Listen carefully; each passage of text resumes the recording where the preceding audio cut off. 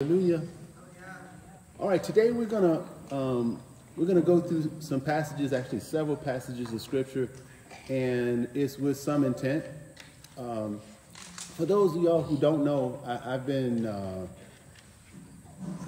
well, everybody knows me, right? Zaqane Efraiym, but I've been teaching through the, the, the Samuel scrolls for a long time. I've been doing a series through uh, First and Second Shemuel and uh, I am just amazed at how many nuggets the Most High has packed into those, those books, right?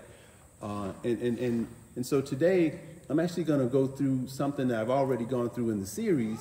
And anybody want to know what that is, let me know later. But, but something that um, I didn't cover in the series that I think will be a great benefit for, for us and that reminds me of something else I wanted to say, but you know, I really appreciate being here with everyone uh, during this time. Uh, Nibia and I, Maisha, we were talking, and one of the things that we uh, that came up regarding the, the fellowship was that, you know, in a real way, this is practice for community living or, or even readiness for the kingdom. And, and, and so, you know, these seven, eight days that we're together, you know, we're gonna we we'll have we're having the opportunity to interoperate in a way that we don't when we're on the phone, we're on Zoom meetings, and when et cetera, et cetera. And it's been a beauty for me to see it flowing like it's flowing, uh, and it's been eye-opening to see some of the the, the challenges. But I, we, when we were talking, we could only sort of like imagine, like, well, what if you know we were all together all the time, right? And so all of the challenges we'd have to deal with and all of the blessings we'd experience. At, at any rate, this is a great opportunity for us to see what it's like being amongst each other because our houses are close to each other. You know, this morning, uh, uh, uh, somebody, uh, I'm not pointing fingers, this is not an issue. It was no issue. Said, hey, can we have a couple eggs? It's like, sure, you know, and it was like, what's mine is yours, and we're kind of flowing together, and this is beautiful. I mean, this this is this is how it's supposed to be. Hallelujah. You know, this this is how it's supposed to be, and so I bless the Most High for that. Um, and this this message, we're going to start off. Uh, Moreh's accepted my offer to uh, to do some reading for me and to interact. So it's going to be a little tag team in here. So y'all get a double a double shotgun approach here, right? So perfectly the Most High uh, will flow through that real, real well. Uh, I, am sure he will. Um, but I'm going to start off with just some comments from, uh, from, from my notes. And I, am going to ask a question. So if you've ever had been in a situation where you had to rebuke, correct, chastise someone who had done or was doing the issue you had to rebuke or chastise about, was something that you had done before. Uh, for, for instance, you know, like if you were a thief and you catch somebody stealing, right? And, and et cetera. And as I went through this idea, I realized that there was some challenges and there was a blessing there. So this message is really about identifying the challenges and knocking them down so that we can see the, the blessing of, how about this? The currency that we get from something that we've experienced and bring it to bear for good. So that, that's the idea of the, of the message. Um, we're going to use several scriptures to sort of walk through this like a case study. All right, so say we're going to go to Shemuel. How many? Can I get a show of hands? Who, who thinks they're kind of familiar with Shemuel? All right, a few people. All right, all right. So yeah, I'm going to quiz you and score you and give prizes. so, so uh, um, how many people think they're familiar with the story of David and Bathsheba? Oh, y'all don't want to participate because I know y'all know David and Bathsheba. All right, then. All right, all right. So I'll leave y'all alone and I'll just teach and let, let it get caught where it get caught. No, no, no, it really isn't. It, it just helps me. It, it, just helps me to understand how much I need to go and and go through in order to make sure that this kind of like this this ground is broken up properly to accept the seeds. If you you say I never heard of David and Bathsheba, then I got to read all of 2 Samuel chapter 12. And, so and so I didn't want to do that because I thought y'all probably know that story a little bit. All right. So I was just thinking about meditating this in this in, in, in Second Shemuel, and specifically in Second Shemuel chapter 13. So if you could pull that up for me, Aki. Um,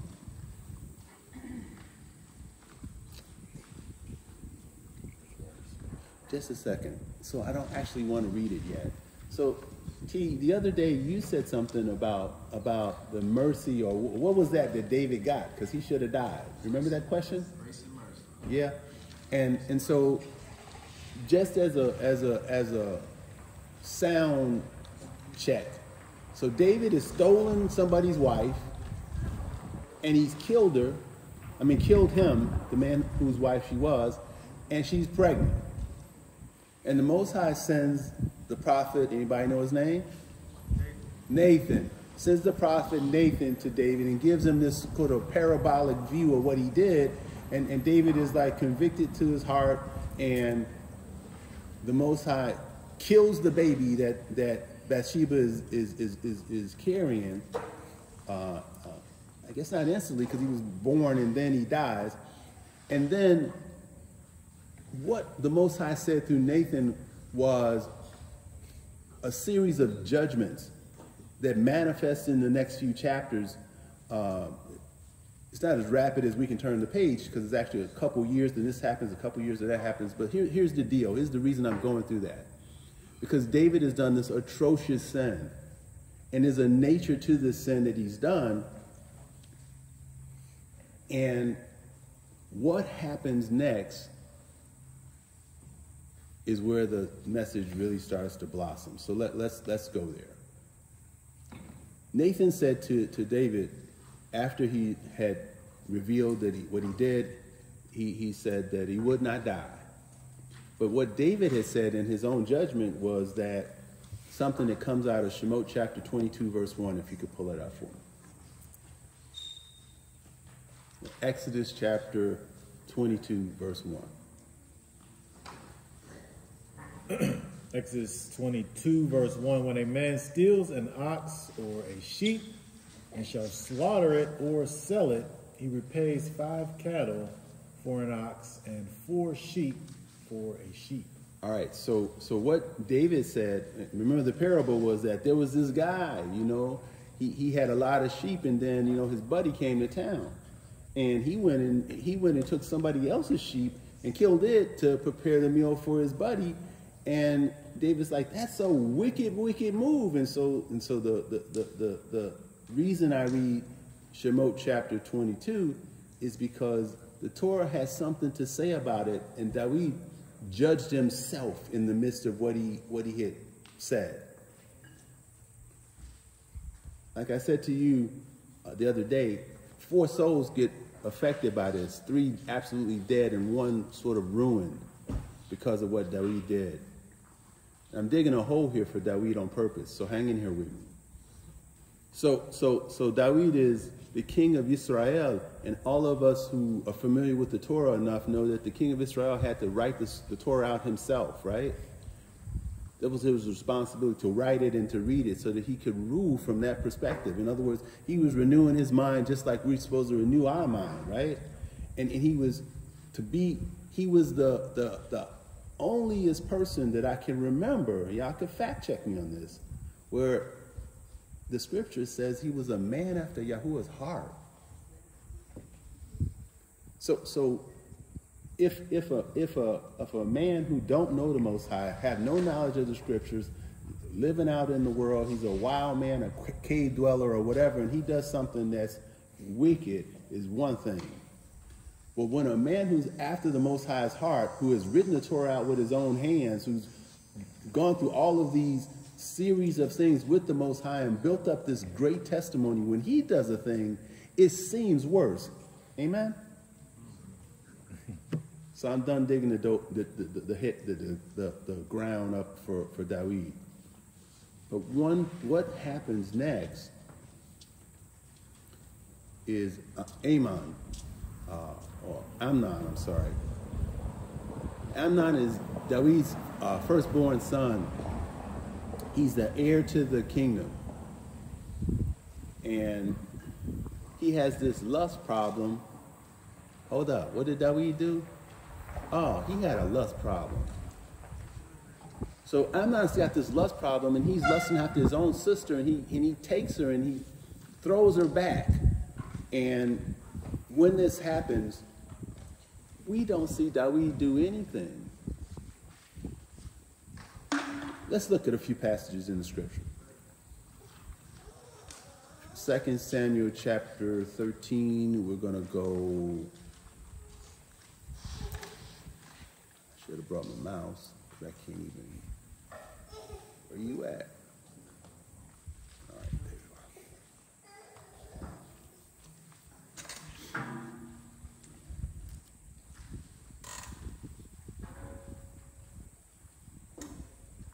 Bible, 2 Samuel 13. Um, read from verse 1. Verse 1. And after this, it came to be that Absalom, son of David, had a beautiful sister whose name was Tamar, and Amnon, son of David, loved her. And Amnon was distressed even to become sick because of his sister Tamar, for she was a maiden, and it was hard in the eyes of Amnon to do whatever to her. And Amnon had a friend whose name was Yonadab, son of Shema, David's brother. Now, Yonadab was a very wise man. And he said to him, Why are you, the sovereign's son, becoming thinner day after day? Explain it to me. And Amnon said to him, I love Tamar, my brother Absalom's sister. And Jonadab said to him, Lie down on your bed and pretend to be sick. And when your father comes to see you, say to him, Please let my sister Tamar come and give me food. And make the food before my eyes so that I see it and eat it from her hand. So Amnon lay down and pretended to be sick. And when the sovereign came to see him, Amnon said to the sovereign, Please let Tamar, my sister, come take a couple of cakes for me before my eyes so that I eat from her hand. So pause right there. And, and so and so what we see is this this lust of the eye, lust of the flesh thing operating in in, in Amnon. And it's ridiculously strong. His his buddy's seeing him thin. He, he ain't even eating right because of it, right? I mean that that's that's pretty severe. But what I want to do is I want to map back to David and what they never told us. So, so it's, it's a little bit of speculation, but again, give me a little latitude. David, you know, he, when he saw uh, Bathsheba, he must have felt like he had to have her because of what he went through.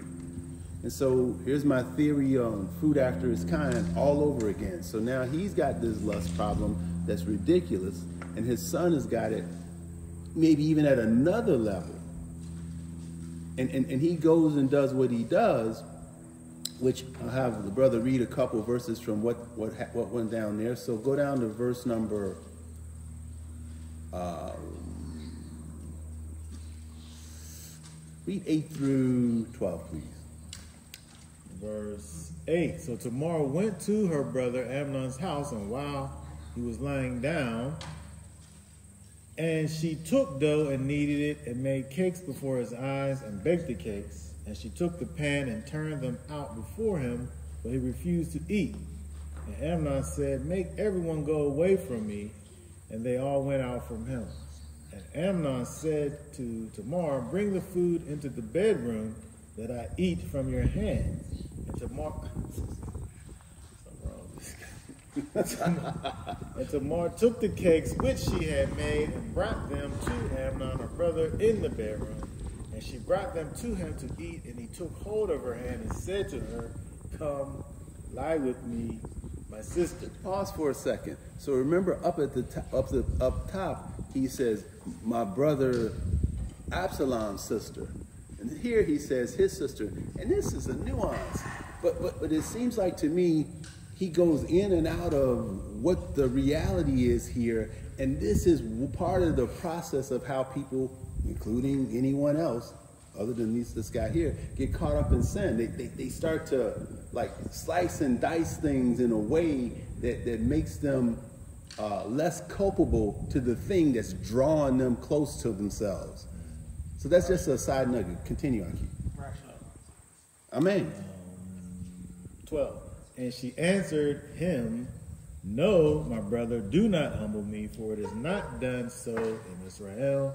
Do not do this wickedness. All right. So so we we find out. Um, read through 15, Aki. And uh, oh, 13. And I and I, where could I take my shame? And you, you would be like one of the fools in Israel. And now please speak to the sovereign, for he would not withhold me from you. But he would not listen to her, and being stronger than she, he humbled her and lay with her. Amnon then hated her exceedingly, so that he so that the hatred with, uh, with which he hated her was greater than the love with which he had loved her. And Amnon said to her, Arise, go. So pause right there, and I wanted to read that because of this this. Once he conquered the thing he was after, it became distasteful for him because this happens oftentimes because something was driving it in the first place that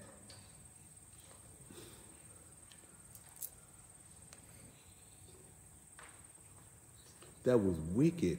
And and and now you're looking at it and you're seeing wickedness. And he's like oh my goodness i, I don't even want you. To get away from me. Now some people might say well maybe oh, i want to go down that path. Let's turn to Bereshit 34 for a minute. We're going to come back here. 34 genesis 34 we're going to read uh, 1 through 3 for now. 1 through 3. Yes sir Genesis 34, verse 1. And Dinah, the daughter of Leah, whom she had borne to Yaakov, went out to see the daughters of the land. And Shechem, son of Hamor, the Hewite, prince of the land, saw her and took her and lay with her and humbled her. Hmm. And his being clung to Dinah, the daughter of Yaakov, and he loved the girl and spoke kindly to the girl. So, so the contrast here is that is that you know some of the same stuff's going on, but maybe this was the way of the Hittites. You know, maybe that's how they rolled. Maybe that was acceptable to them because he he he he wanted her, and and it's kind of disappointing in one way because whenever I see um, someone outside of the kingdom behaving in a way that seems superior to somebody in the kingdom, I feel embarrassed. Like like when I see uh, Buddhists at peace, right? I'm like, man, and, the Israelites can't even get along. Our, our father is the father of. I mean, our king is the king. He's Sar Shalom. He's the, and here we got these people over here who don't know him, who, who reject him wholeheartedly, and yet they're doing better at it than we are. This is it's, it's terrible. So anyway, go down to verse number uh, 25 in, in Genesis 34 and read from there, bro. 25 through 31. Uh, verse 25 And it came to be on the third day when they were in pain that two of the sons of Yaakov, uh, Shimon, Shim, Shimon, and Lewi, Dinah's brother, each took his sword and came boldly upon the city and killed all the males. Pause. So I, I cut out a little bit, but what went down is they convinced him to be circumcised. Now on the third day, they're in terrible pain, and and, and, and, they, and they rushed in upon him. Th- This is an amazing story for a lot of different reasons, but the two of them only went and killed all these cats, and that's pretty phenomenal. going on 26 and they killed uh, Hamar and Shechem his son with the edge of the sword and took Dinah from Shechem's house and went out. You said to verse uh, 31. The sons of Yaakov came upon the slain and plundered the city because they had defiled their sister. They took their flocks and their herds and their donkeys and that which was in the city and that which was in the field, and all their wealth and all their little ones and their wives they took captive and they plundered all that was in the houses. And Yaakov said to Shimon and Levi, You have troubled me by making me a stench among the inhabitants of the land, among the Canaanites, among the Perizzites, and I am few in number. They shall gather themselves against me and shall strike me, and I shall be destroyed, my household and I. But they said, Should he treat our sister like a whore? Hallelujah. Not hallelujah that they did it, but hallelujah, the word of Elohim. And so I see a couple things in here. One is that, um, you know, Israel, Israel is no stranger to being the, the what do they call it, the minority. and the impact that being the minority can have on you is that you might feel weak to do even what's right. But Shimon and Levi, they took care of this thing. And Dawid, the king of Israel, his daughter is taken by his son, and so far, he ain't he ain't did nothing. Turn it up high, high as you need to, bro. Number one. Is that better? Shalom, shalom. Mic one. You need me to do it? Is that better? Louder? All right. So, so Dawid's not doing doing anything. Um, so here, here's some of my thoughts about what Dawid's situation is.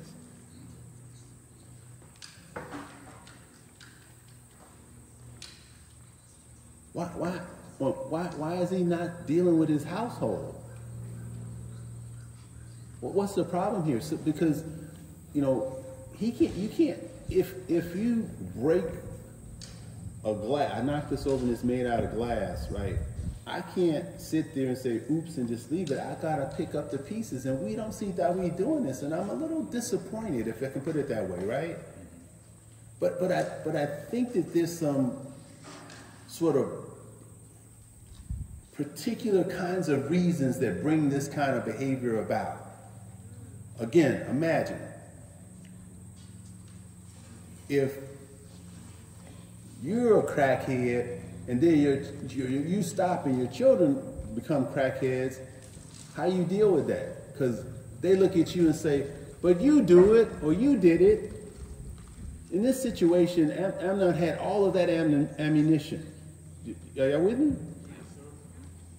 So, so the whole country by now probably knows what Dawid did.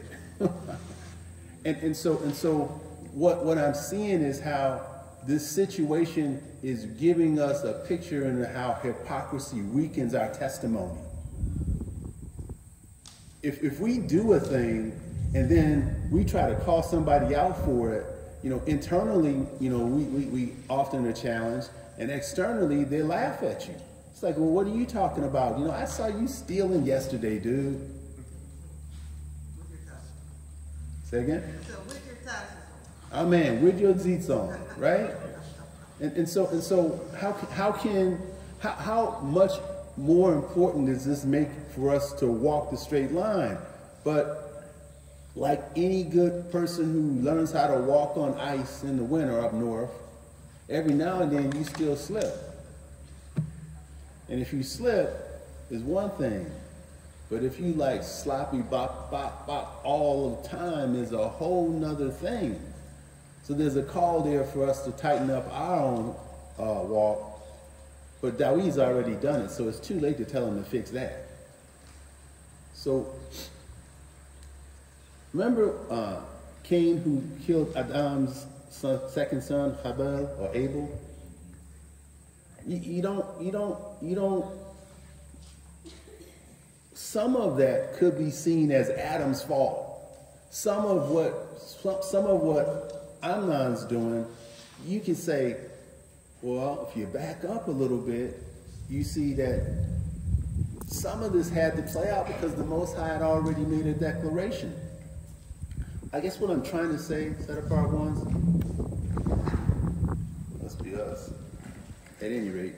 Um, what I'm trying to say is that in addition to this theme of the hypocrisy that Dawid may have been hesitant to, to rebuke his son about, or, or, or that led him to be hesitant to do that, there's the Most High's theme that's interacting with humans just like it always does. In other words, what Amnon did was judgment on Dawid's house. So, so, so, so Dawid's getting sliced there, and the question in my mind is like, what do I do when the thing that I've done has brought calamity upon myself and upon my people, et cetera, et cetera, right? And then I see it rinsed and repeated in someone who is close to me, my brother, my sister, my children, etc. What do I do? Do I say, well, you know, I did it, and in, in Dawid's case, to, to T's point the other day, it almost seemed like he got away with it. It almost seemed like the Most High gave him a pass. Now, he didn't give him a pass, but it almost seems like it. So now, here I am. I committed this gross sin, and the Most High has seemed to giving me a pass on it, didn't kill me. And now you do this sin, and I'm going to tell you, hey, you dirty, rotten sinner. That's one extreme that we find people doing. The other extreme is that we find people saying, well, you know, since I got a pass, I give you a pass. Ha have you ever heard people say, I think Jesse Jackson, uh, they found out he had a daughter out of wedlock or whatever, and he stood up and he says, you know, let him without sin cast the first stone. yeah, y'all might not remember that, but that's what happened, right? And so that's the other extreme, right? But neither one of those is right, even though both of those are pretty easy to do. And, and I guess there's a good time to say that the, what the Most High calls us to do is never easy to your flesh.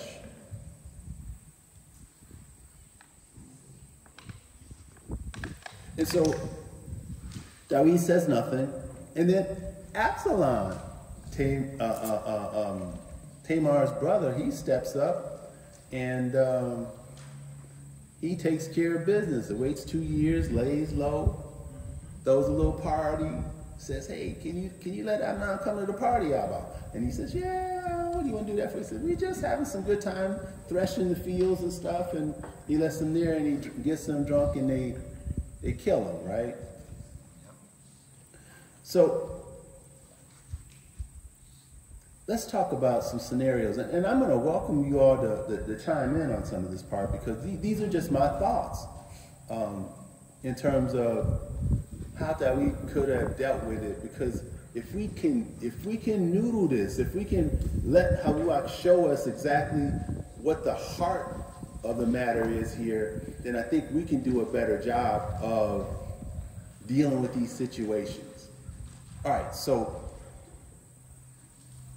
I, I believe that we should have been transparent and he could have let his own drama empower him to deal with the problem that his son was having. I think I think that sometimes, you know, as parents, as teachers, as preachers, Maureen, Zakin, et cetera, et cetera, uh, not only, and you said something yesterday uh, about how people see who you are now, they don't know what you've been through. Mm-hmm. I think sometimes we, we, we, instead of use our testimony, we kind of hide it a little bit. like, I don't nobody know I was an axe murderer back in the day, whatever, right? So, so, so, so when we do that, we, we lose the strength of ministering to an axe murderer or a potential axe murderer.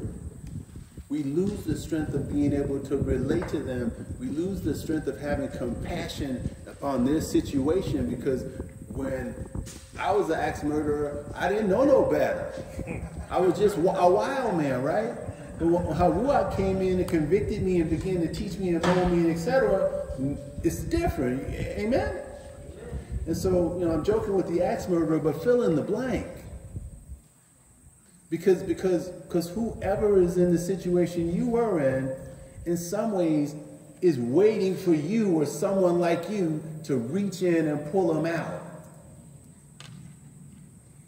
So so you know, my history is nasty, raggedy, ugly. But I can't tell you how many times the Most High used that to be able to reach in and say, hey, man, I know where there's a, a relief from that foolishness. I know where there's some light that dispels that darkness. This ain't about me, but just in general, this concept is what I would have loved to have seen that we do. I'm making that part up, right? But but the, I'm trying to make the point that if he was transparent, you know, he could have dealt with his own son. He could have maybe softened the blow a little bit, put a buffer between his people and the Most High. Because if I let you go and do your thing, then, you know, whether the Most High have mercy upon you, that's between you and him. But when people's hearts change, when they see their own sin, the Most High reacts to that usually with mercy. All right, so let's go to um,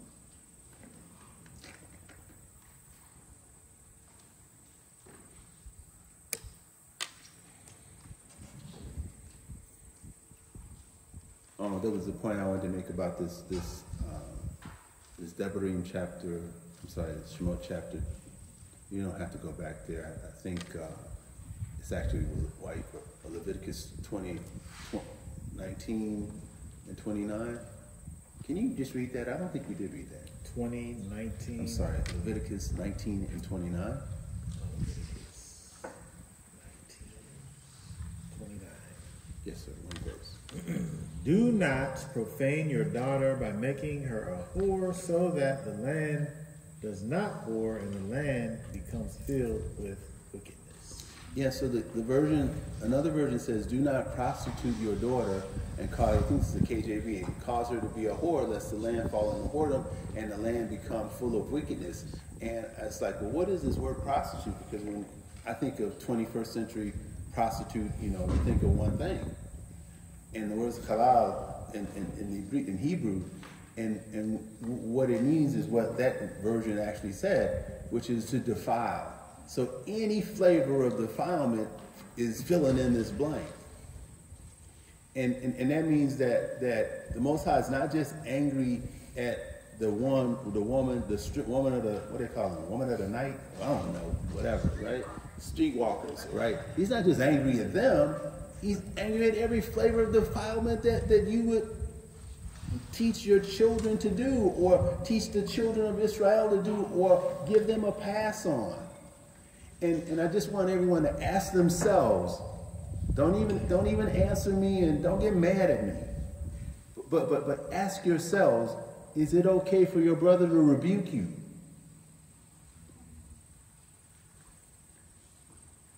All right, I gave you enough time. This is a challenge because, because this is a challenge. Yeah, I know it's the win. It's the win of hallelujah. Hallelujah. But but but what what I'm drilling at here is that the two sides to this coin. Because when you develop a relationship with your brother or with your sister or with your Maureen or whatever you develop a relationship with, where you're convinced of your loving covenant relationship with them, it should actually be your expectation that they look after you a bit. You, you, you, so again, another quick Ephraim testimony. A brother said to me one time, I was talking to him about something, and he said to me, I knew there was something wrong with you all the time. I'd known him for two years. And I says, well, what's wrong with me? And he says, I kind of just sucked his teeth. Yeah, I knew it was something with you all the time. And, and, and I was like, bro, I've been hanging out with you for two years, and man, I could have died and went to hell, and you knew too, something was wrong with me. And you weren't gonna tell me about it. What kind of brother stuff is that? And he's on a high horse. I hadn't done anything wrong, but but but but an issue came up that he didn't like, And now I always knew something was wrong with you. And I never forgot that because I was thinking, is that the way we roll? Because if you knew something was wrong, I ain't talking about you don't like the fact that I wear, you know, these zeets and you wear fringes. That, that ain't nothing wrong with me on that one. But but but if you you catch my eyes wandering in the wrong direction, you see me at the store and I'm like looking around, I do like this. You, you, if you catch me doing this stuff and you say nothing to me, what's wrong with you? Now, now part of it I know that people scared. Cause, cause, cause if you say something to them, they'll be like, you know, who made you the Elohim over me, or you know, blah blah blah blah blah blah blah. But we gotta start somewhere, set apart ones. And, and so and so whatever the answer to that question was, whether it was like ten, absolutely they can rebuke me. Nine, yeah, they can rebuke me, but eight, you know, on down the list, right? All, all the way down to don't be trying to tell me nothing. You just need to, you and Haruach need to work that out because we already know what the answer should be. And, and, and, and, and it doesn't matter if I'm terrible at, at fishing and I tell you that your bowling is off. You, you get me?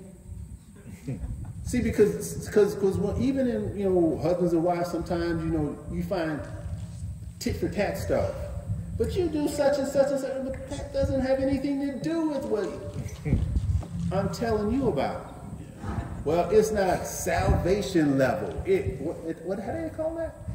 It's not salvation issue. It's not a salvation issue. Thank you, brother. It's like okay, you roll on that. You you get out there on that edge, Mister. Not a salvation issue until you just fall right off the cliff. Just remember, apostasy means that you once believed once you once you were walking it out and you turned from it and forsook it. That's what apostasy means. It don't mean them people out there who's never in the kingdom. All right.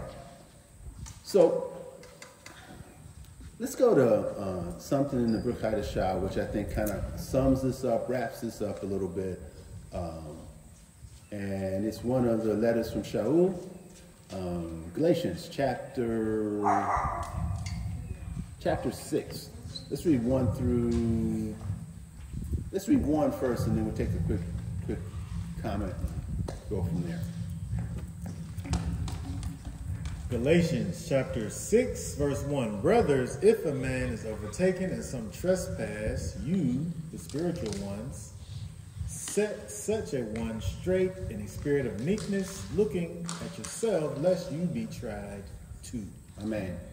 And so now we see how how sin and faults are, uh, are, are trying to infiltrate us. If I if I if I get a pass on some junk that I'm doing, then it's it's like you want to pass for some junk you doing. Before you know it, we look just like the world. Sometimes I see that, you know, so it's kind of scary. And it's like, well, well, what's the remedy? The remedy is, you know, if you see someone overtaken in a fault, you know, set them straight in the spirit of meekness. it, uh, it's interesting when we look at uh, these things it's like when we're in the assembly of Messiah, it's like the default should be like, you know, it should be righteousness. But it's like unless somebody is able to be seen in a perfect light, it's like it discredits. I'm saying this is the way, this is the, the uh, the dysfunctional way that we do things. If you try to tell me something, but there's something, it don't even gotta be that thing.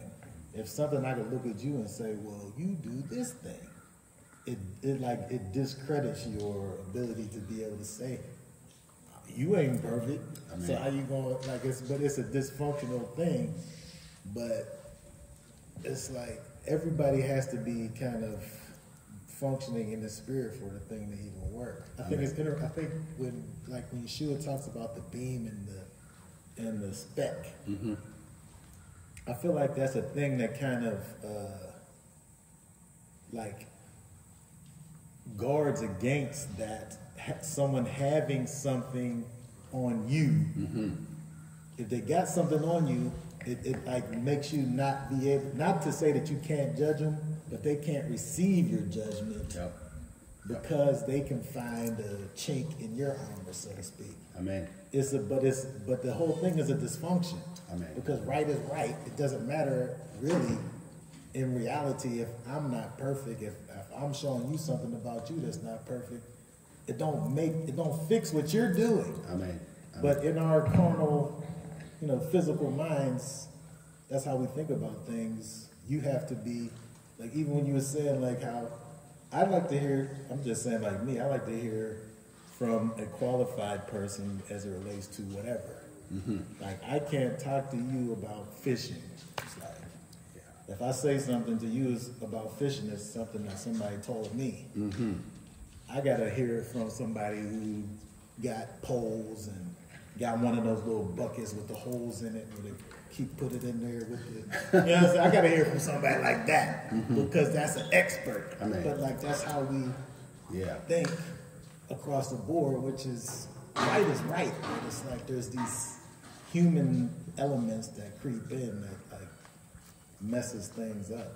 Yeah, yeah, and and I think it's I think it's a little bit beyond human sometimes. I think I think the enemy. Well, I mean, I think the enemy takes advantage of it, right? Mm-hmm. How about that? Whether whether he's the author of it or whether he's just taking advantage of it, it, it weakens our ability to walk upright. And we all say we're committed to walking upright. Amen. I mean, that's what we want. So how about the amen on this one? And we all realize we still got work to do, right? Amen. So when our brothers or our sisters are helping us to try to shore up that work we're still doing, we should be grateful. Now, if they're reckless and it's like, you dirty stinking dog, blah blah blah blah. You ain't no believer if you did that. You know about this? It's like it's like crazy because I always tell this story because when I grew up in the north, we used to like run down the street and slide on the ice in the winter on the way to school, right? And when I was really little, we didn't run down the street and salt because we fell all the time, right? But by the time you're in, you know, middle school, or if they call it that, uh, you can have fun, you know, just running in and sliding and running and sliding. But every now and then you will fall. And, and, and this kind of sin is an unintentional sin. That's the slip and fall thing. But people who who are falling all the time, they need help. And if you ain't gonna help them, how you how you talking about you love them? How you how you calling them brother and sister? How how you calling them Isha and Isha, husband and wife? How you calling them your children? And you won't rebuke them for the things that are going on? Or what is, what's going on there? How can we expect a good end to that? So so so go on to Galatians two forward, please. Oh, verse 2. Bear one another's burdens and so complete the Torah of Messiah. Pause. So, so Shaul is, if we know the Galatians letter well enough, we know sometimes there's some confusion about it. And I'm not confused whatsoever. But what he just said is, I'm, I'm, I'm responsible for you and you're responsible for me at some level. At some level. Finding that level may be tricky. But if you don't reach for it, you'll never find it. Go on, Aki. For if anyone thinks himself to be somebody when he is not, he deceives himself. But let each one examine his own work, and then he shall have boasting in himself alone and not in another. For each one shall bear his own burden.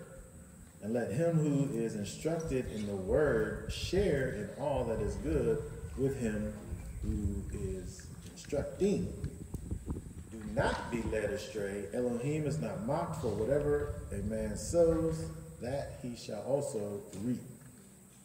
Because he who sows to his own flesh shall reap corruption from the flesh, but he who sows to the Spirit shall reap everlasting life from the Spirit. And let us not lose heart in doing good, Amen. for in due season we shall reap if we do not grow weary. Amen. So then, as we have occasion, let us do good to all, especially to those who are in the household of the belief. Amen. So when I talk to uh, Israelites, I, and I talk to people who walk in this walk out, you know, they they they they understand that this book was written to a people first, right? And and that those those people are our real family. And those who walk in it and, and in belief are, if I can call it a next layer, our family. And and so when he says don't be mocked, I mean Elohim's not mocked, we see this pain out in, in, in Amnon's life and death. We see this pain out. And maybe some of us have testimonies and stories that we can see it pain out around us or in our own lives. And I guess the whole point here is that if the buck's gonna stop, you know, it'll stop quicker if you help. And you can never tell what person what a person to do, how they respond uh, to to a call to repentance or, or change, etc. You can never tell exactly what they're going to do. Um, but just like in any area of this this walk, we we we do what's right, and we let the Most High handle it from there. I mean, if, if, if we don't do that, then then we're in trouble because we, we're not really doing, we're not helping. We're, we're just we're just kind of, you know, maybe we got fire insurance in our mind. You know, we'll escape the, the pit. And and I'm not sure you will, or or, or, or any of us will. Not to point at anybody other than you know all of us. So so let us you know remember that our brothers, I mean, people ask that question uh, that Cain asked, Am I my, my brother's keeper? At some level, absolutely. Absolutely. So, you remember the Most High told us to be kind to strangers. He says, uh, Remember you're in Mitzrayim. Um, remember the story of the Good Samaritan, the, the so called Golden Rule. What's the Golden Rule, I keep? You know that one? The golden rule. Yeah, the Golden Rule. And let the treat, uh, Treat- treat others, do on the others as you would have them do unto you. Yeah, that one, right? Um, yeah, remember, initially it says, you know, a soft answer turns away wrath. You know that passage in one of those letters, it, it, it says something about uh, provoke one another to love. Anybody got thoughts on how you can provoke somebody to love? Because you probably know how to make each other pretty angry. well, how do you provoke someone to love? With love. I got two hands. Go for it. Aki. Speak it. Speak it out.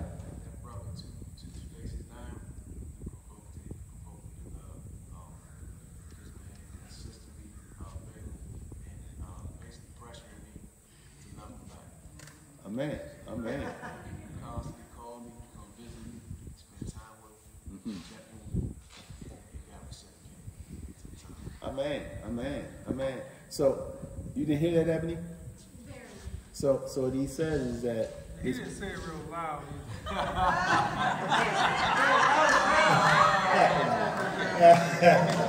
my uh, love brother. That's, my hallelujah, hallelujah, hallelujah. That's what I'm talking about. Hallelujah. He's, he said that.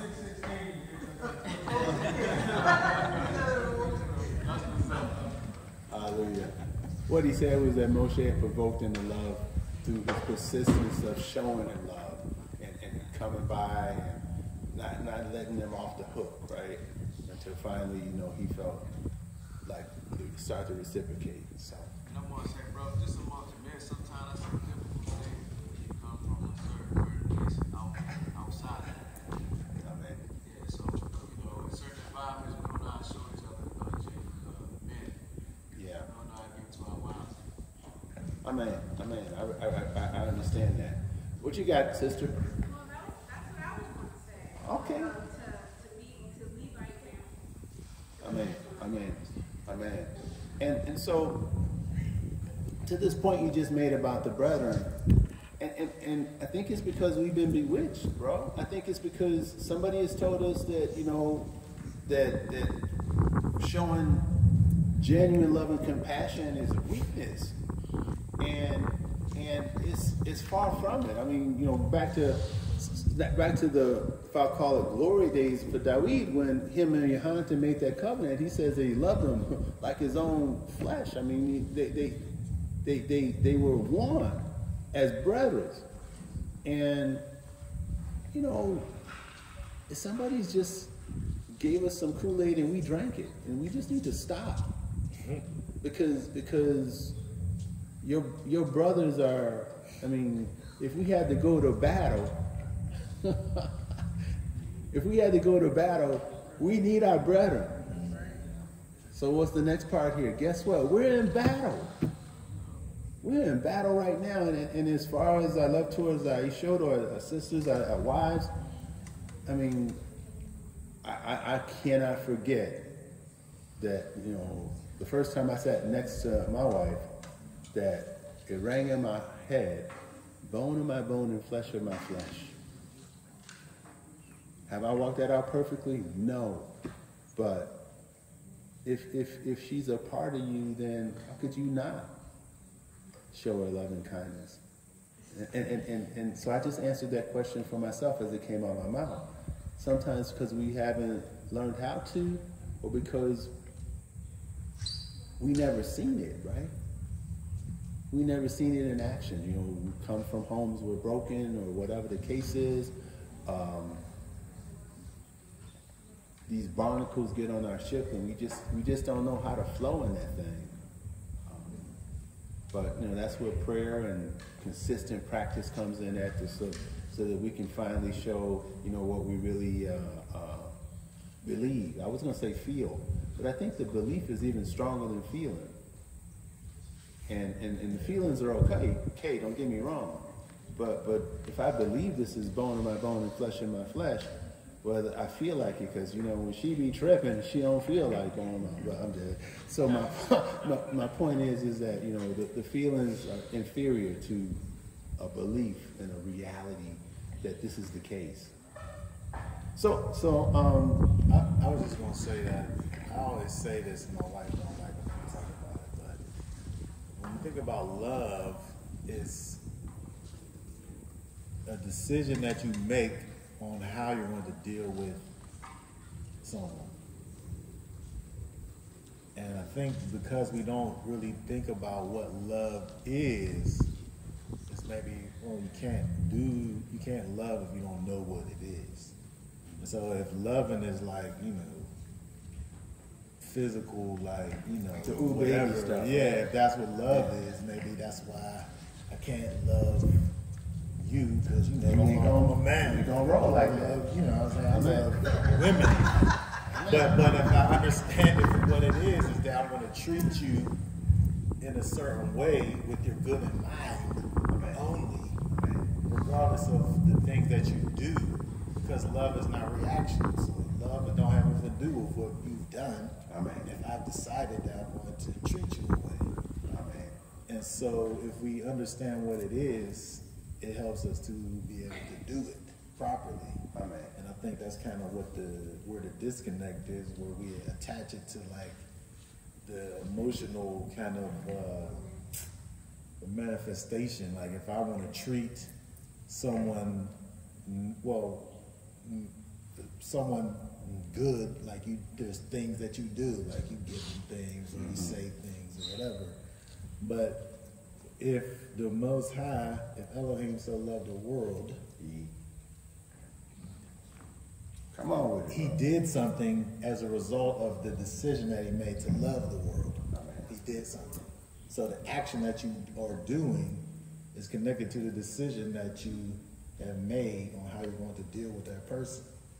And so if I love you and I see you about to jump off a cliff, I'm gonna say, Hold up. yeah, don't, don't jump off the cliff. Let's talk about this thing. Yeah, and and also you was talking about saying something to someone. Mm-hmm. That relationship with love is like I can't decide whether I'm going to say something to you or not based on what you're going, what I think you may say back to me. Mm-hmm. Because I was thinking about the sowing and the reaping. The sower, he just threw the seed. And it landed wherever it landed. It may have landed in a good place, it may have not. Amen. But if you don't throw it, nothing's gonna happen. You guarantee hundred percent nothing's gonna happen if you don't throw it. Amen. So I can't look and be like, well, if I sit up here and try to tell him about this thing that I know that he's doing, mm-hmm. he ain't gonna listen to me anyway, so I ain't even gonna say nothing. Mm-hmm. But that's not really acting in love because there's still a chance that they could be like, you know what, you're right. Yep. Yep. Or even one day, right? Yeah, or, or come back to it in their mind, like, oh yeah, I remember you said this one thing. Amen. Amen. Amen. And so, and so, um, I think that I think that's pretty much the message. Uh, the point, the point was just to put us on guard so that you know we never let our own failures keep us from being a vehicle that the Most High can use to help tighten up the kingdom. And conversely, that you know we, we literally look for uh, that help. You know, it, it, it's, it's it's awesome when you know I'm looking at brother George right now. A couple weeks ago, you know, it wasn't a rebuke, but he he told me something that was contrary to my thought, and and I actually felt like you know, no man, you know I'm gonna, I'm gonna do it like this, you know, and we kept talking, right? And and this is the beauty of it, right? Because at some stage of development, you like you don't want to continue that conversation, but we kept hashing it out, hashing it out, and he kept he kept tangling with me and tangling with me, and I said, you know what? There's some there's some beauty to what you're saying. I hadn't let go of my idea completely, but I was like, there's some beauty to what you're saying. I, I get it, and quite honestly, I still wasn't ready to do it, but I was starting to see the beauty of what he was saying, and then I did.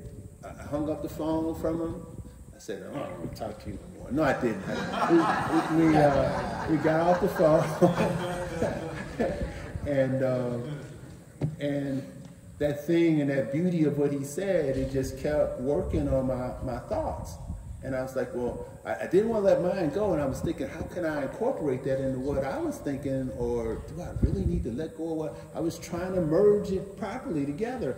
And I and, and I said, well, you know what? I'm gonna I'm gonna take that and plug it into my program here and what I'm what I'm thinking, and it blessed me tremendously.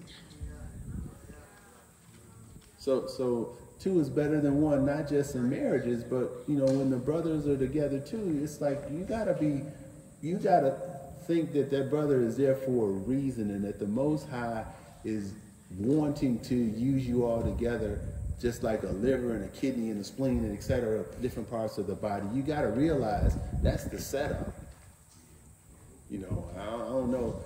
Kidneys and livers both do filtering, but I don't think in my in my belly they be arguing with each other about, you know, they do they part of the filtering process, and they're depending upon each other. In fact, if one is going bad, it makes it harder on the other one, and so we bear each other's burdens. We we try to do what's right, and we never want to let our past failures or even our current struggles keep us from speaking truth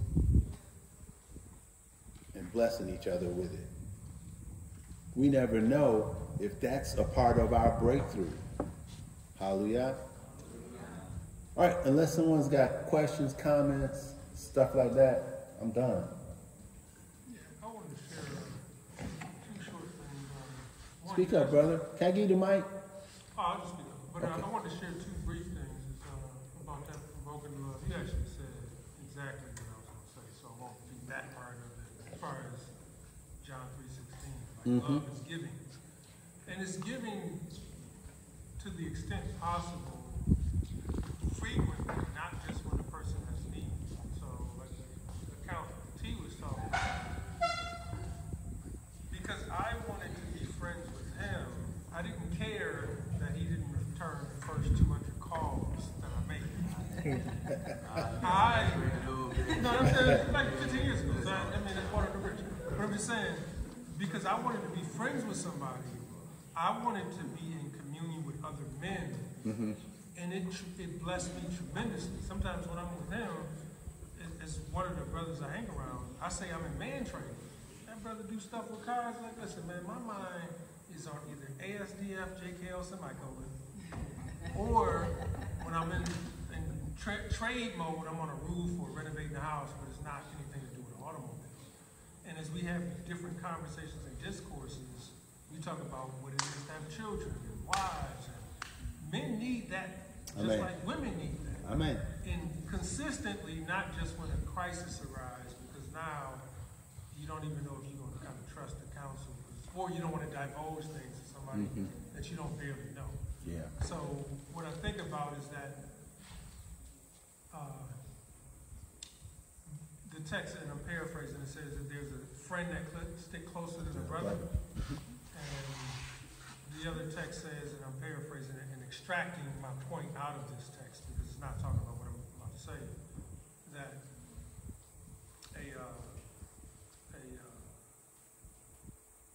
if your enemy hunger, feed him, Mhm. right? But what if it's your friend?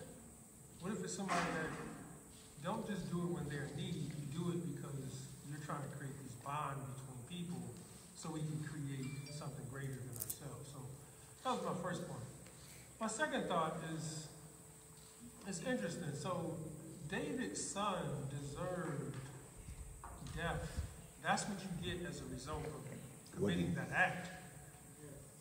But how difficult is it be how difficult is it to like Saul was chasing you, you killed Goliath, your other son tried to take over the kingdom, and you just didn't want to do what you probably should have done. Mhm.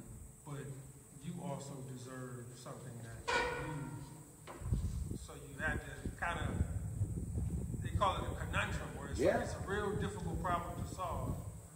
But yeah, I should execute my son, but it's my son Yep. and I'm his son, and I did some atrocity, so I have to. And now your other son thinking you're weak. Yep. Oh, you don't even have judgment no more.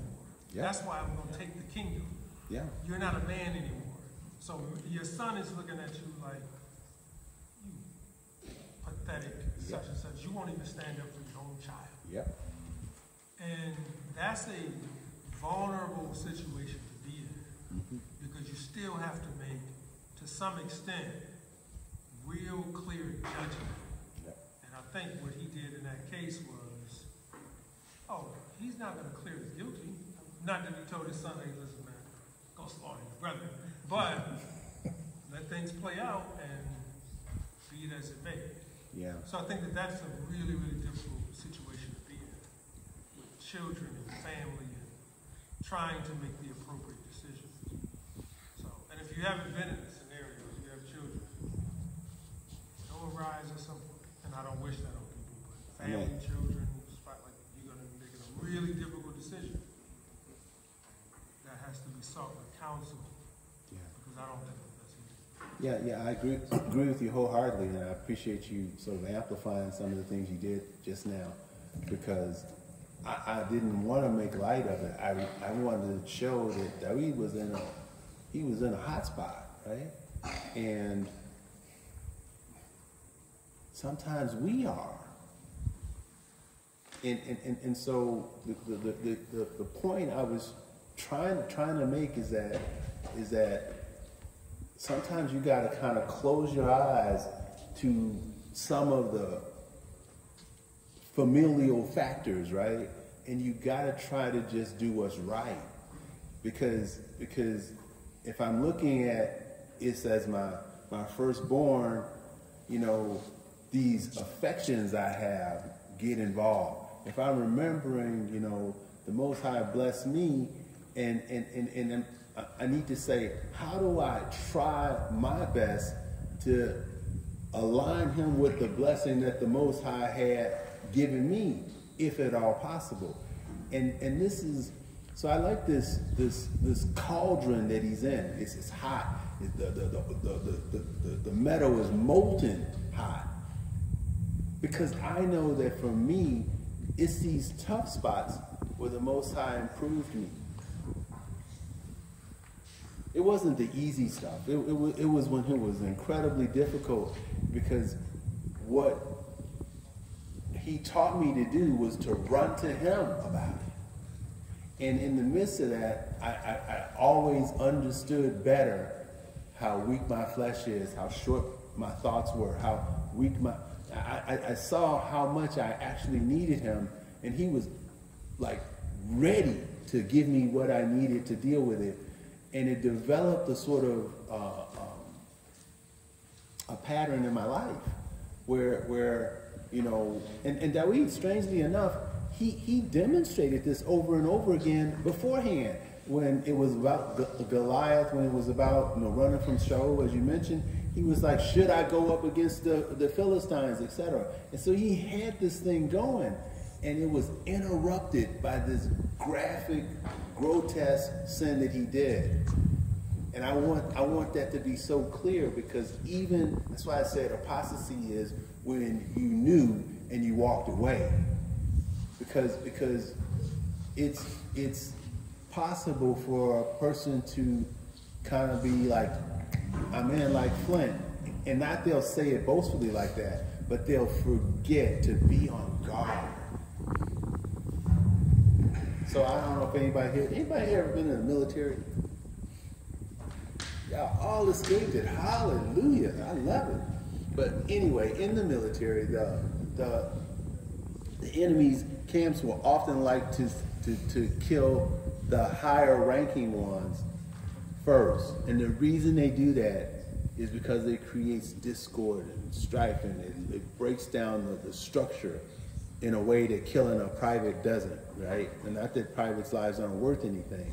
But I'm just saying this because the enemy of our soul, the enemies of the kingdom of Elohim, he loves to find someone who's been walking down that path righteously, doing a good thing. And he'll quote to him Ezekiel chapter, uh, was it 18th or 33, where, you know, when a righteous man does sin and then none of his righteousness will be remembered.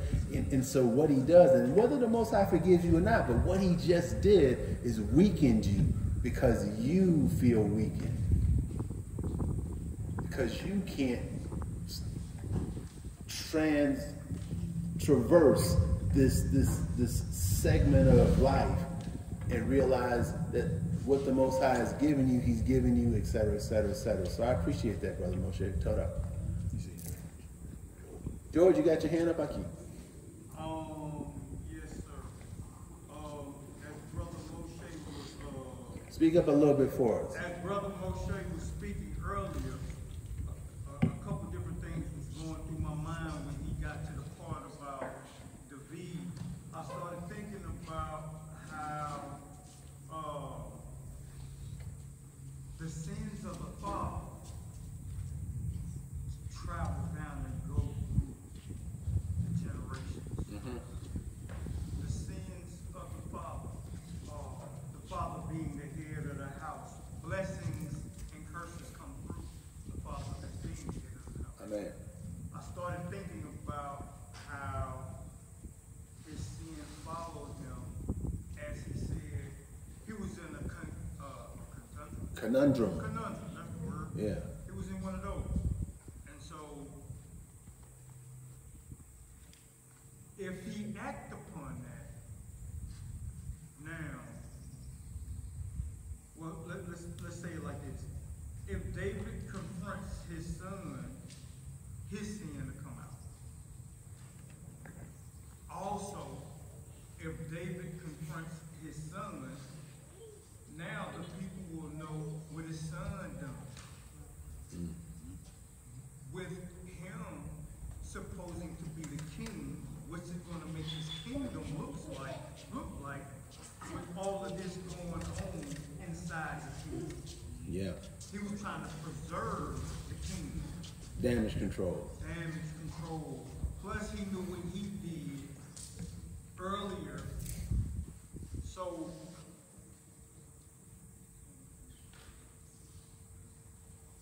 I can't, I can't really fully say why he didn't do it, mm-hmm. why he didn't Yeah, the book don't tell us, so we Right, gotta. it, it, it don't really tell it, but we all see, when that first sin happened, at- it was over from there. Dominoes. Dominoes just started. Yeah. Right, but like you said, it took years. Mm-hmm. But when that first happened, and the way he did it, the way he sent that man to war and all, it, it was over from there. Yeah. And then it started seeping through his lineage with the son of Bathsheba, I mean, not Bathsheba, but the son died as a baby. Mhm. And we see what happened with Tamar and his brother and all that stuff. But, but, but yeah, anyway, it just shows how the book rings true. Amen. Because it says that the sin will follow the father to the third and the fourth generation. It does say of generations, but it still says about the sins. And David wrote his own Torah, so he knew all this. Amen. Amen. I was really thinking about the same exact thing, and it's like I don't know that there really was a, a, a thing that he could have did To that, work it out. a right thing that he could have did, because he, the things that you're mentioning here, just other, you know, the, the dysfunction, it just wouldn't have been that one; it had been this one. Yeah. So it's just like you, you really couldn't have fixed it. It don't seem, and it's all seemed to me as like the whole thing is judgment from what he did in, in the first place. Right.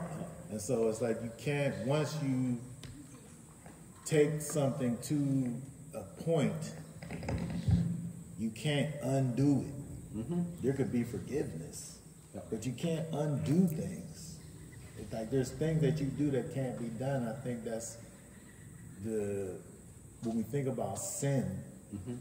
we kind of really have to understand the the gravity, the weight of it. I mean, Because certain things that you do, you know, the Most High will forgive you. I mean, He said He'll forgive you if you come to Him with true repentance. Mm-hmm.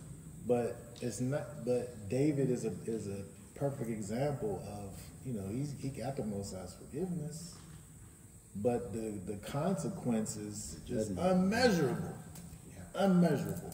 Yeah. Maybe, maybe none of that stuff even would have even happened if he didn't do that. You know what I mean? But it's like it was such a domino effect in his life that happened mm-hmm. because of that that sin that he did. Yeah. Yeah. I I, I agree. Um, Cuddy had cushioned it. yeah. That that that was that was. So remember when the baby, Bathsheba's first son from him, um, is sick, right? He's fasting. He in sackcloth because he and then when he died, you know, he washed his face and got himself together and got a sandwich. And and, and then people like, what's wrong with you? You know, don't you know your son just died? And he said, he says, paraphrase, he says, well, while he was still alive, the Most High might have had mercy on him. And so he sought his mercy then, right? But in this case, we don't get any witness of him attempting to buffer the situation. Right. And, and, that, and that's and that's where the challenge is. He was he was what do you call it? Uh, counsel. He was like frozen. He it's like he didn't know what to do, and, and I get it, right? Because because you know you could freeze up in a situation, but I only wanted to walk around this enough that the Most High will uh, stir us up to understand some concepts that will be valuable for us as we walk this walk out. Hallelujah. Somebody had the hand up before you, right? Sister did.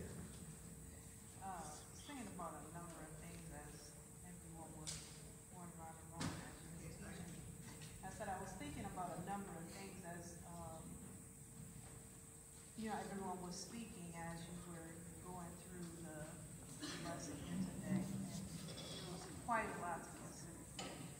And I you know, I was considering how, um, you know, the multi-chastity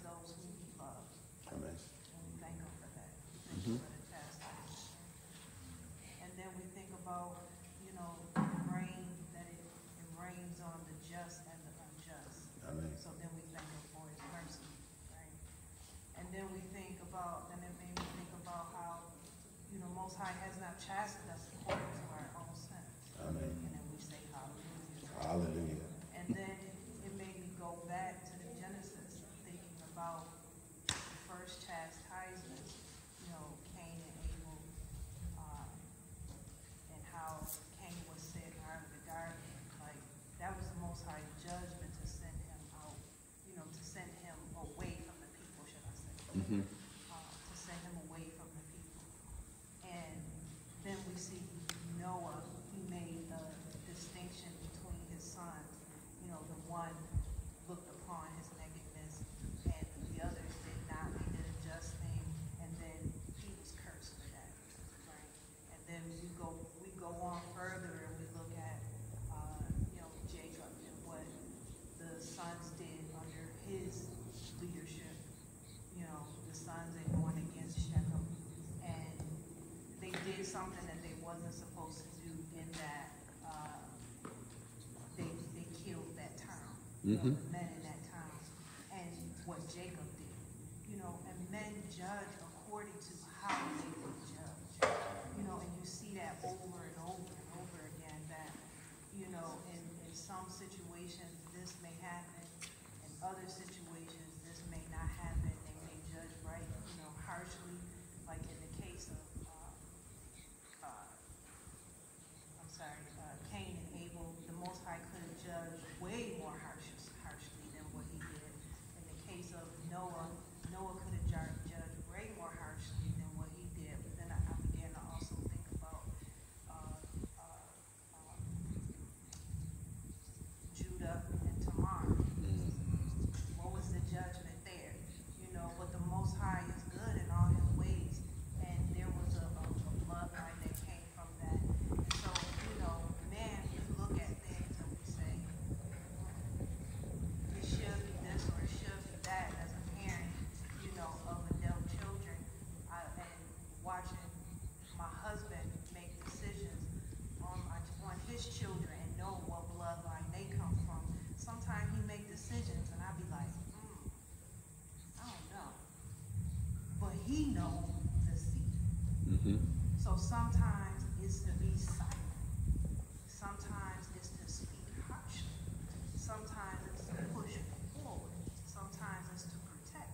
And with all of that is we do it, we try to do things according to the Ruach. And I know, you know, your, your lesson was dealing with, uh, dealing with David and what he did and everything.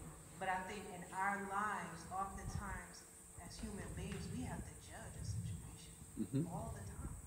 And we wonder if we judge righteously or not.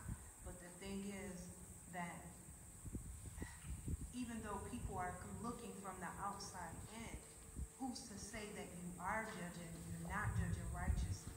Even if you're judging, you're doing it silently, or you're pushing pushing a child forward with love. You know, there's been so many times that I've seen uh, mothers make a decision on a toddler, and I think I probably would have lifted his behind a little bit. But I don't know what the situation of this child was that day. Mhm. Maybe he's tired. Maybe I don't know. And and I, it just made me the whole lesson, all the the uh, you know uh, conversation between everyone just made me consider myself Amen. when I'm judging, judge righteously, judge according to the whole situation. Pray for discernment and ask the Most High to help. And then it made me consider like there is safety in a multitude of houses. Amen. So I'm not alone. I have my, my husband, I have my sister, I have my, you know, people around me who can help me to consider how to do something justly. Amen. And I think that's the prayer Amen. that we, we do justly in, in, in especially challenging situations that have many terms that we, we may not be able to understand the whole thing, but we do it, we do it for. Amen. Amen. I I don't know if everyone really heard her, her but, but you know, if I were to sum it up, she, she's she's admonishing us to to remember that you know sometimes we don't know the whole story, and uh, and we can't sort of judge other people's judgments, and I'm adding this a little bit in the sphere of their authority, because you know, I mean, if if I see you know George telling his children one thing or another, I don't know the whole thing. I don't know the whole thing. And, and, and, there are lines and boundaries there, right? So if I see him, you know, chasing him with his nine millimeter, I'm like, bro, what's up? What's up? Right? But but you know, if if you know he's if he speak to them sharply because of whatever situation, maybe that was the right thing to do. And then, you know, there, there's this there's this level that we we will never really quite get until um, we, we're translated into the image of his son more com- absolutely completely. And that's whether or not the thing that we're looking at we're not supposed to walk by sight. I know this is a little bit of a anyway. So with the thing we're looking at we don't always know how this fits into the most high schemes. He he he he could have i mean for for all we know right? And and, and maybe even in some level, we do know that Cain killed Abel was a part of the plan. I know it sounds crazy. We don't like it one bit. Paul said something in that Romans letter about um, whether or not uh, if that's if this kind of thing is the case, then we can kind of blame Elohim. And he says, "Yah forbid," because we got no position, we got no standing to do such a thing, right? It's, it's like, hold up, Doc. You're gonna tell me, and I made the heavens and the earth, and I'm the one that's got. We, we, we don't have that kind of foothold that we can challenge him. We can say, I don't quite get it. We can say this kind of thing. But at the end of the day, the Most High can do whatever He want to do. And, and, and so, yeah, we need to be mindful of that. Um, but I think that that that that we I agree with my sister that, that we should be praying for that discernment. Praying. Sometimes, sometimes a, a, a, a what does it say? A word in due season, something like this, right? So that goes both ways, the blessing and the curse of it. It's like if I'm if I'm trying to uh, help somebody, I could tell them, you know, this, that, and the other, and they're not coming at the right time, right? It's like, man, I'm trying to get to work. I ain't even really hearing what you're saying. I, am stuck in traffic, or, you know, I got to pay my rent. And, and, it's like, whereas there's this other time when telling them that when they're struggling to pay their rent might be the exact thing they need to hear right then.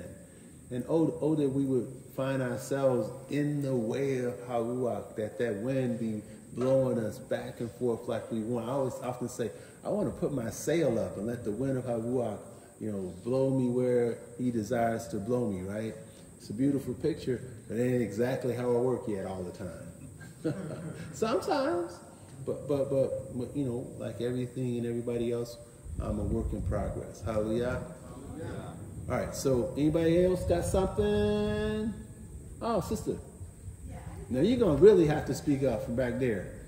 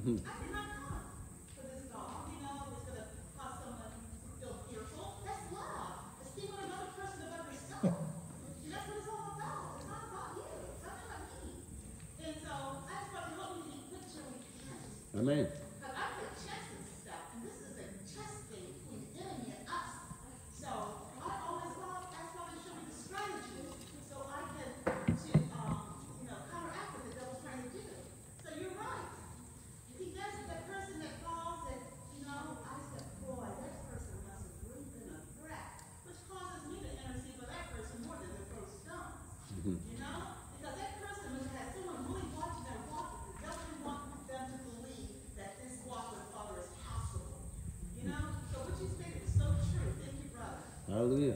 Bless the Most High. Hallelujah. Hallelujah. Did you have something? Okay. Jerry had his hand up. Sister had the story. I just had a headline. Uh, all right. Hallelujah. Hallelujah.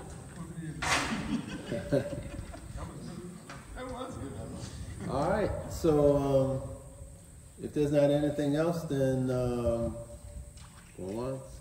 that's. Come on with it, bro.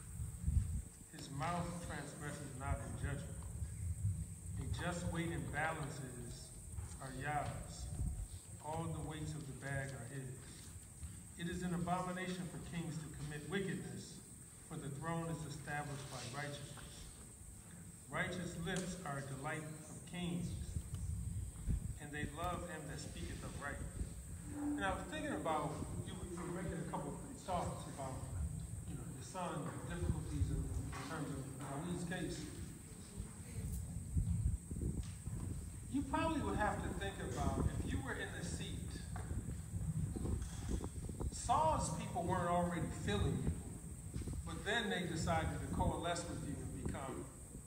Now you got this rebellious son that may rile people up and say, hey, yeah, let's go get together with them because my dad is weak. And you still have to make a good decision. And the, your other son, one son who immediate sister was, then you got your wife of the son son, do what? Mm -hmm. And you didn't say, like, all of this kind of going on. It's rough, ain't it? Decisions. He, he getting it at all angles. Or at all angles. And I think, just, I'm, I'm closing and landing with this thought of just thing. you have to have discretion, an appropriate judgment, because you're running a government. Yeah. This isn't us four no more. It's like, oh, I only got three kids in the house with me. Yep. You're running a government, and everything you do is going to affect everybody. I mean, yeah. you're at this, it's going to affect folks. I mean, you run an entire government. Yeah, yeah. I mean, I, I, all right.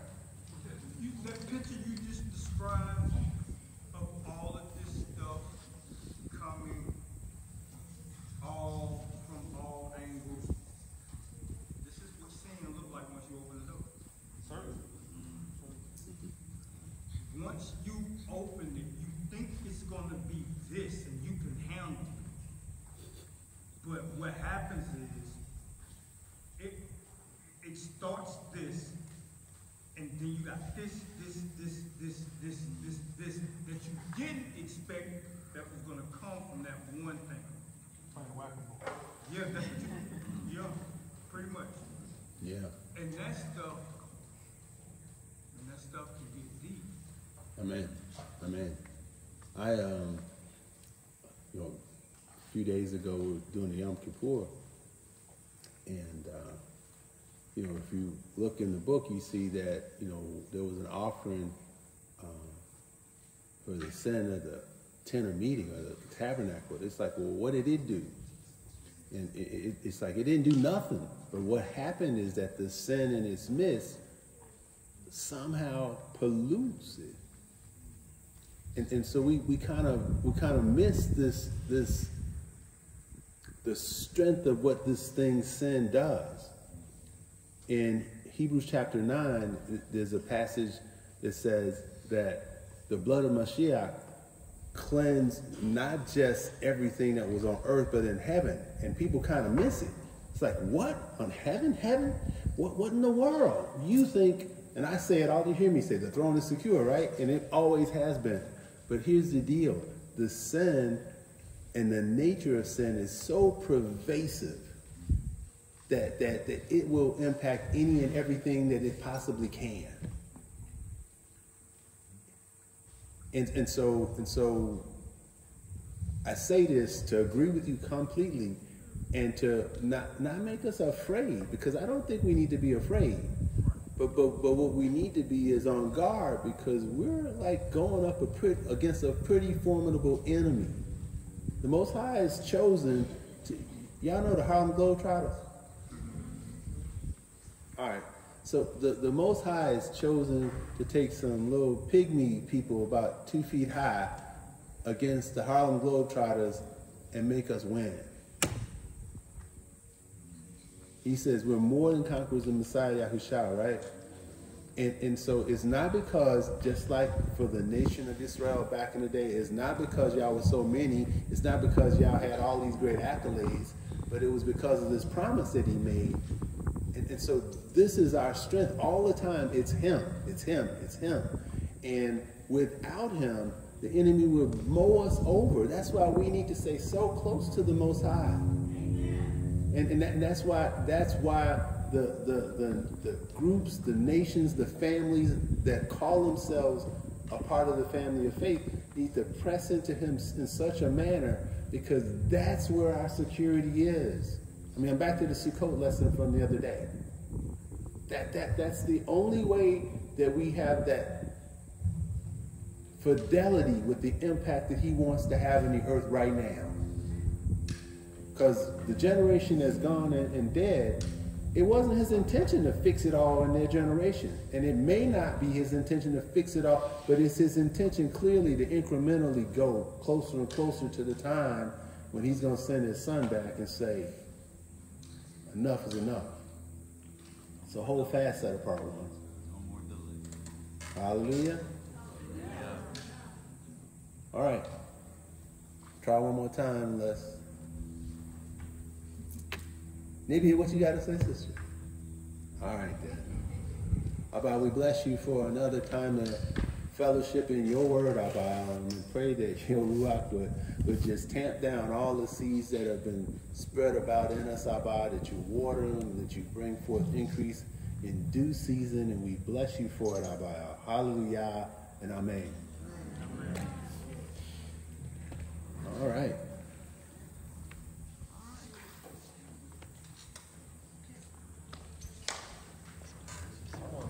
Which one of y'all stuck on my iPad?